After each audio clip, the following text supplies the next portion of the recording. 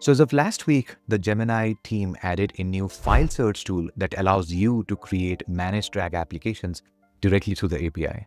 In the last video, I took you through the broader level architecture and the workflow. In this video, I want to actually go much deeper. I want to show you exactly what's happening under the hood, the specific functions that Gemini uses to actually automate the RAG steps within the API call. So you can go out and build your own managed RAG solutions using this. All right, so to make it super clear to all of us, I built this live interactive application that will actually guide us through the end-to-end -end process of Gemini File Search API. So how does this really work? I mean, before we get into this, you know, think about this, right? So any RAG system is all about grounding your large language model with your data. So it all starts with data. And Gemini File Search API is different in how it manages the process of handling that data. So if you look at this is how the traditional RAG pipeline goes, right? So we ingest the data and that's where we do a bunch of chunking and splitting of text into tokens. And then we create the embeddings, which is deep vector representation, and then store those embeddings in the vector database, right? So that is the hard part when you are creating RAG yourself.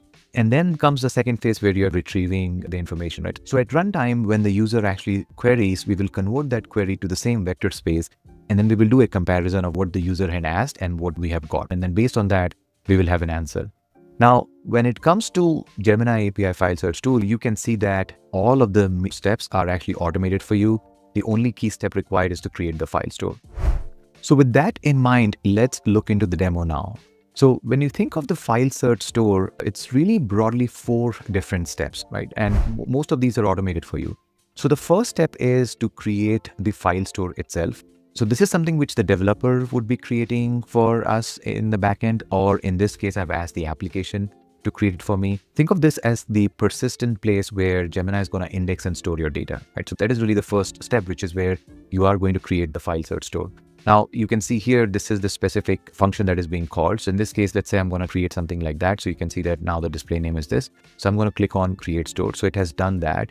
Now the second step is going to be uploading the file. Once you upload the file, it basically is uploading the file into the file store that we just created.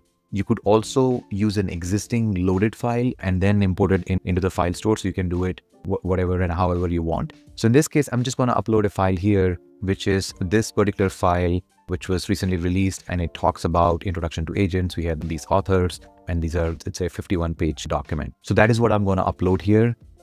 So Gemini File Search also provides the capability for you to control the chunking. So this is an advanced configuration that you can also do if you need to, but this is definitely a possibility. And then you can also define like custom metadata so that if you're uploading multiple files or you're loading an existing file, this can be taken care. So all of these are part of the advanced capabilities or controls that you will have access to.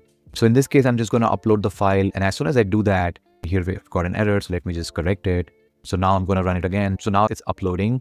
And what it is really doing is it is now indexing, right? And the whole chunking process is happening as we speak now. So it, it has done its job and it has indexed it. And you saw that it is it was like a 51 page document. So you saw how quickly it was able to do it. This needs to happen just once right? Because this is the indexing piece. So once you're building these these RAGs so this will the whole process is going to be offline. And then once you are done you have now you're on the last step which is you're able to query. So let me ask this who are the authors so when I'm typing this, it actually goes into here where I've specified this is my model and this is what I'm searching. So this will now get converted into, into an embedding and it should be able to retrieve that. So that is what is happening. And here we go. The, the authors of this are Alan Blount, Antonio. So let's see if these are the authors. And uh, here you go. So yeah, this, these are exactly the authors there, right? So it, it is doing a fantastic job in terms of getting the results. Now, again, it, it may look like this is something which is very common and there are a lot of these kind of tools available. I know NotebookLM does pretty similar things. The key difference here is you are actually enabling all of these things via the API itself without creating all of those five different steps that we discussed. Before, you were not able to do this as part of the API, but now you are. So if you want to look at the details here, right, so you can see Uh, th this is the documentation where you can get all of the code for both Python and JavaScript. So I explained you, you know, how you can upload to the file store, then how do you import the files as well.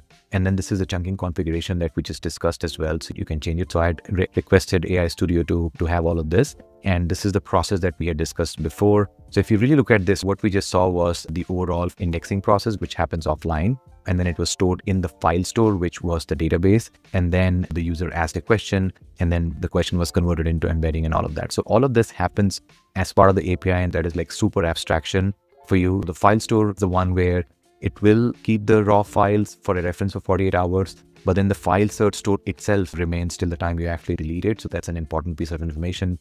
We talked about the file metadata as well. And citations are another possibilities. You can simply uh, add this command line and it should be able to give you citations. These are the two models that it is supporting. These are all different application files which it supports. So it's pretty, pretty exhaustive. You can support PDF, SQL, a lot of Microsoft files as well.